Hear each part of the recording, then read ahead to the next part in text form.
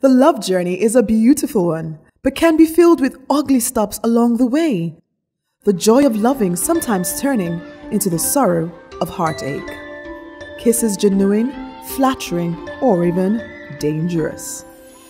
This Sunday at the Silverbird Cinemas, a special Valentine expose on love, purpose, and lifestyle with best-selling author and life coach Michelle McKinney Hammond. Butterfly Kisses 9 a.m. at Hall 4, Silverbird Cinemas, Ikeja City Mall, Lagos.